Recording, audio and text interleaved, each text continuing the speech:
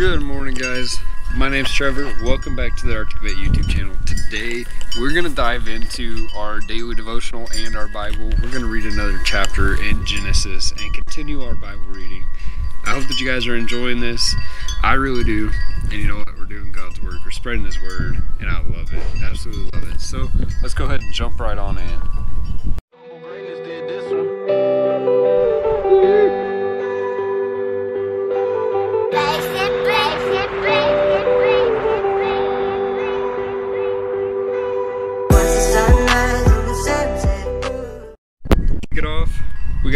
Got day by day devotions for dads.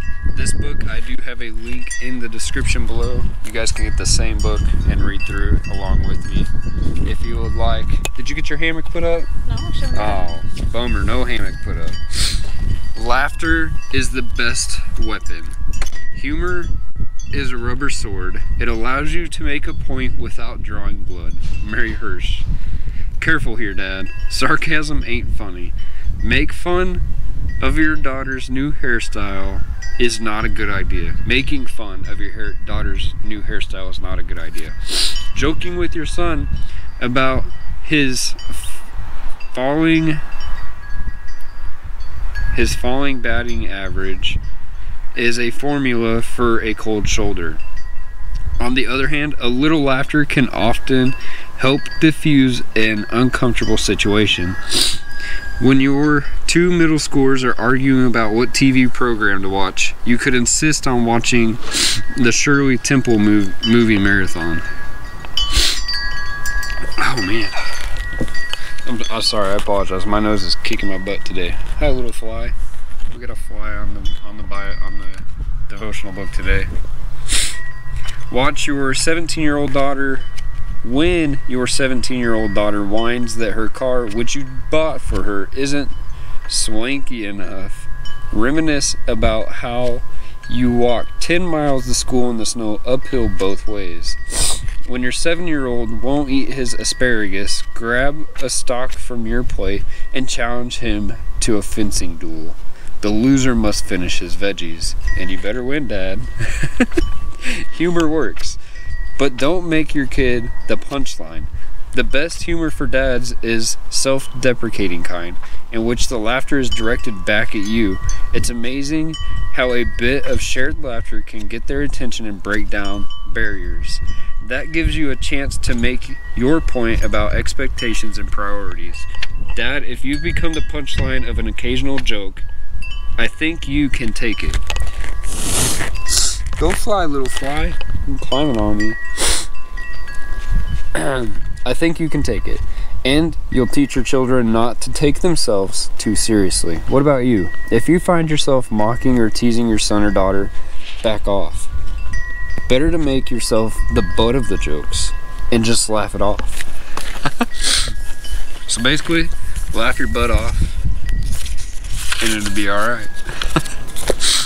now, let's get into Genesis which you guys can get yourself this same Bible using the link in the description below.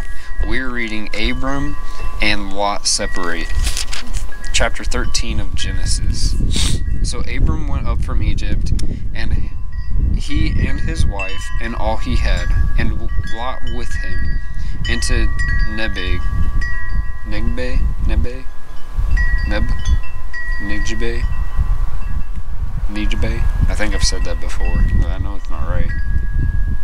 Nejbe. Nej. Now Abram was very rich in livestock, in silver and in gold, and he journeyed on from the Neb from the Nebe Neb Nejbe as far as Bethel to the place where his tent had been at the beginning, between Bethel and Ai, to the place where he had made an altar at the first. And there Abram called upon the name of the Lord, and Lot, who went with Abram, also had flocks and herds and tents, so that the land could not support both of them dwelling together. For their possessions were so great that they could not dwell together, and there was strife between the herdsmen of Abram's livestock and the herdmen, herdsmen of Lot's livestock. At At that time, the Canaanites and Perizzites, Perizzites, Perizzites were dwelling in the land. Then Abram said to Lot, Let there be no strife between you and me, between your herdsmen and my herdsmen, for we are kin- kinsmen. It's not the whole land before you. Separate yourself from me.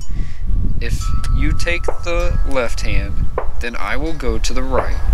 Or if you take the right hand, then I will go to the left.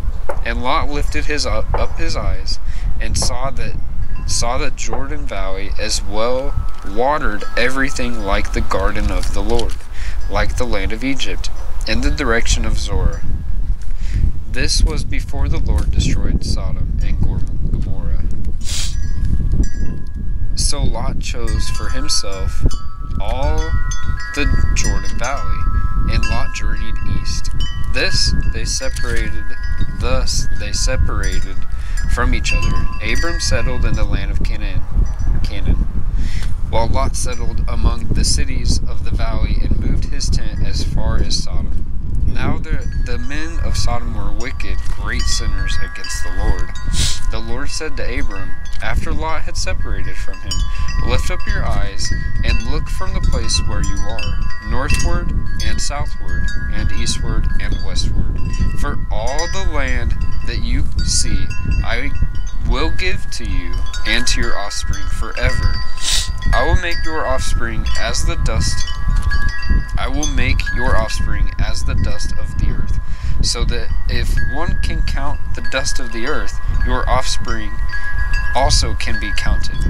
Arise, walk through the length and the breadth of the land, for I will give it to you. So Abram moved his tent and came and settled by the oaks of Mamre, which are the which are at Hebron, and there he built an altar to the Lord. And I believe that brings us to chapter 14. Abram rescues Lot. So tune in next time and we will read chapter 14 in Genesis. We're going to make it through this entire Bible. We're going to do it. It's going to take some time, but we're going to do it. So don't forget to click that red subscribe button. And if you enjoyed this video, smash that thumbs up. Drop some comments down below. And we will catch you in the next vlog. Have a great night and a good morning or good evening. Wait, did I say good afternoon? Peace, guys. God bless. Don't ever give up. God is here with you. Yeah. You are a child. Nothing but love is true. Just gotta fix your view. Keep your eyes on the prize. That's life everlasting. Only through Jesus Christ. He came to die.